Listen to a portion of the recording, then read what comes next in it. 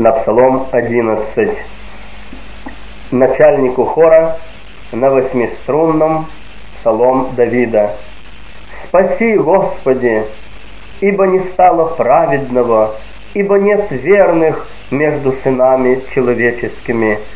Стихи 1 и 2, Псалом 11.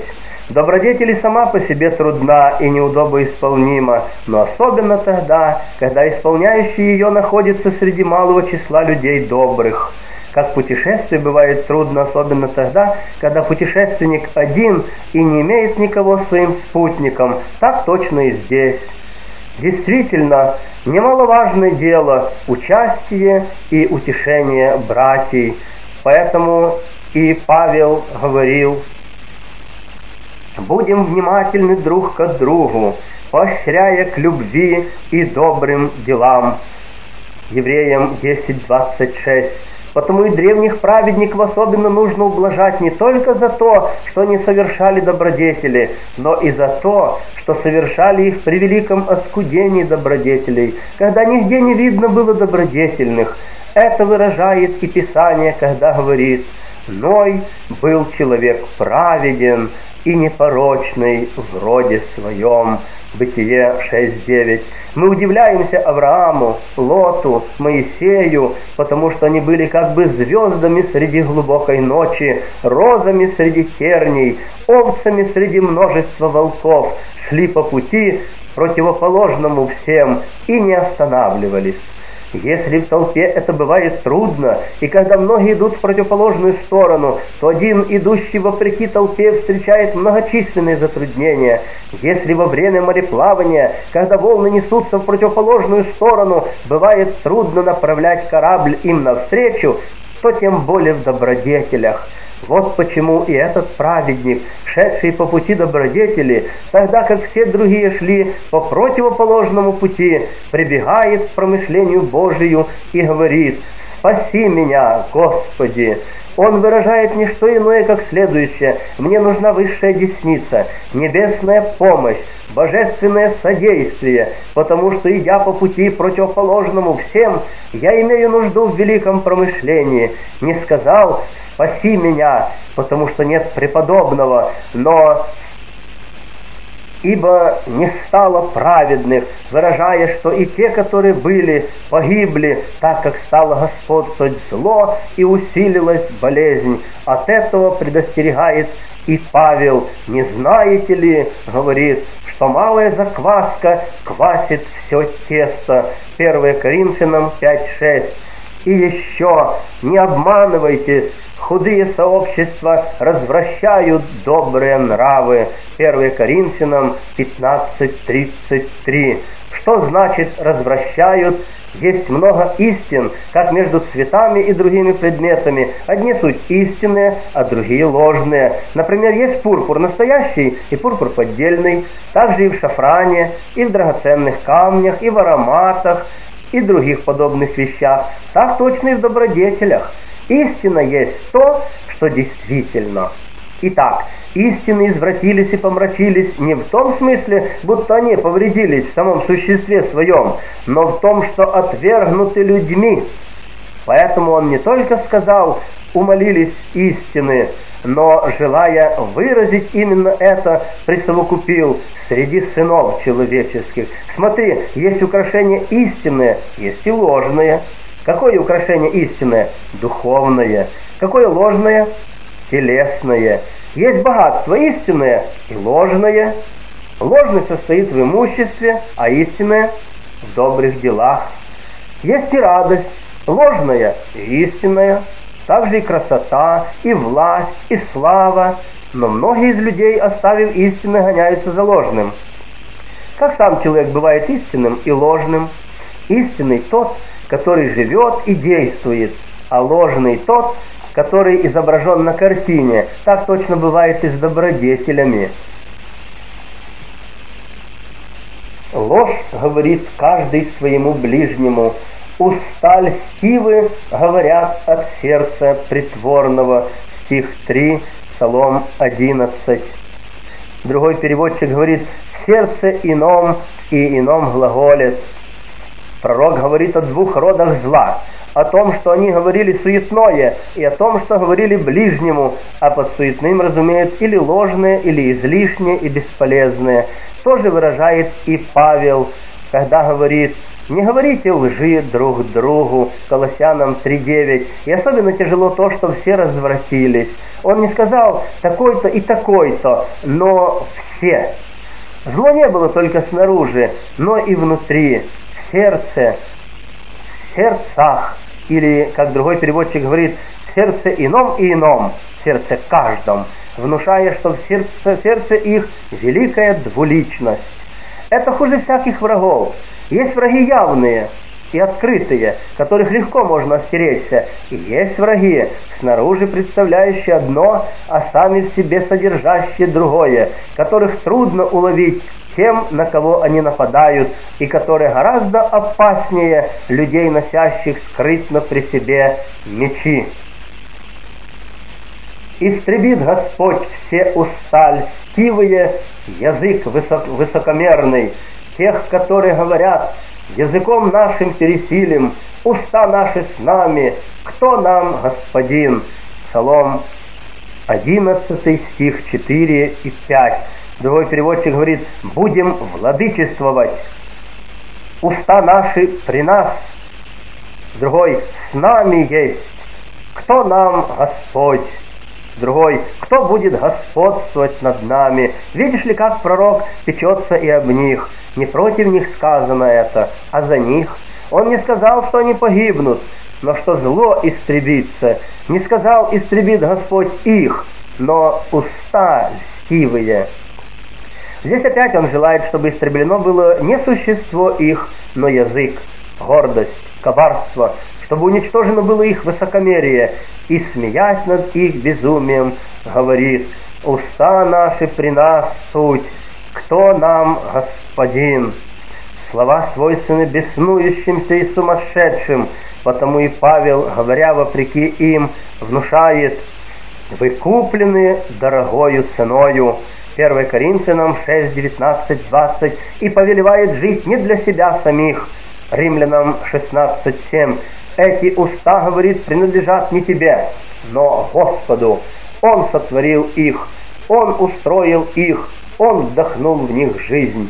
Но ты владеешь ими, не все то наше, чем мы владеем. Так мы владеем деньгами, которые другие поручили нам, владеем землею, которую другие найму предоставили нам, так и уста. Бог дал тебе не для того, чтобы ты производил терния, но чтобы бросал полезные семена, чтобы распространял через них не тщеславие и коварство, но смиренномудрие, благословение и любовь. И глаза Он дал тебе не для того, чтобы ты сладострастно смотрел ими, но чтобы украшал их целомудрием. И руки дал не для того, чтобы ты наносил удары, но чтобы подавал милостыню. Как же ты говоришь, уста наши при нас, когда ты делаешь их орудиями греха, прелюбодеяния, нечистоты, кто нам, Господин, е будет?»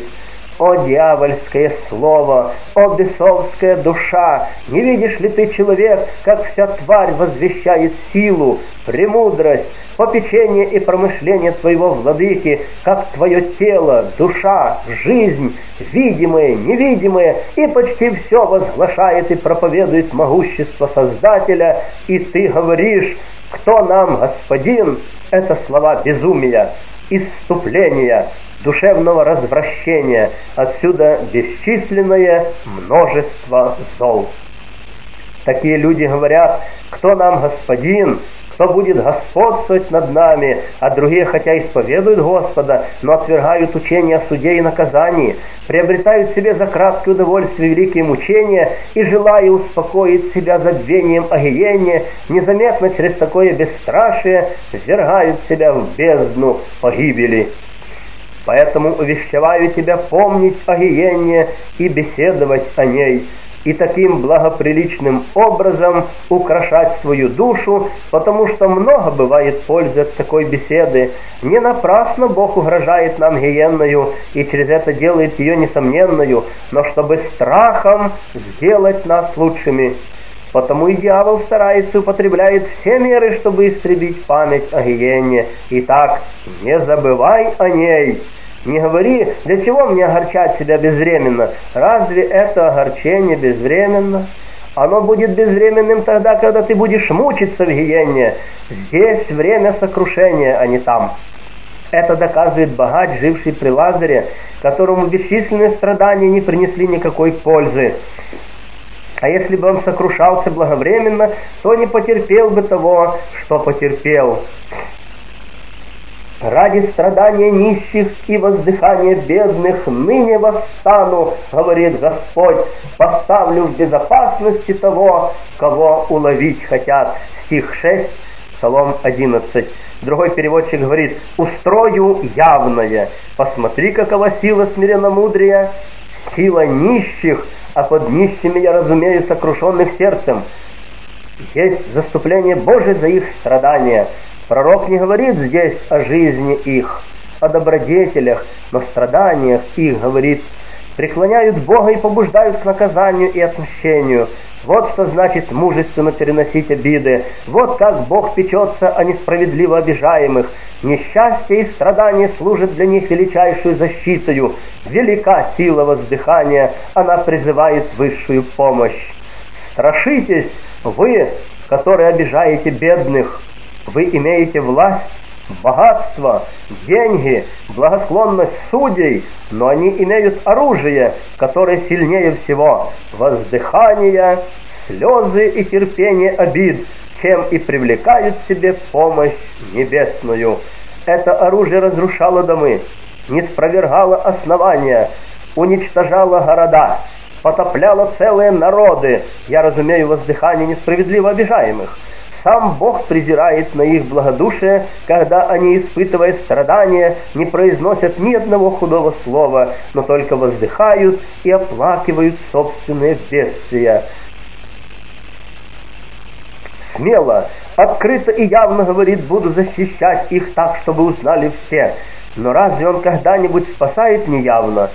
Иногда и не явно, а тайно, потому что он не нуждается в славе человеческой. Теперь же, когда враги очевидно нападали на них, оскорбляли и бесчестили их, как бы не имеющих Бога своим помощником, дабы и сами враги вразумились и сделались лучшими, на опыте узнал помощь Господа, я устрою, говорит, спасение их явно.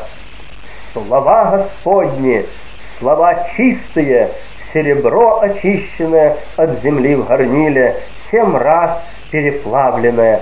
Стих 7, Псалом 11.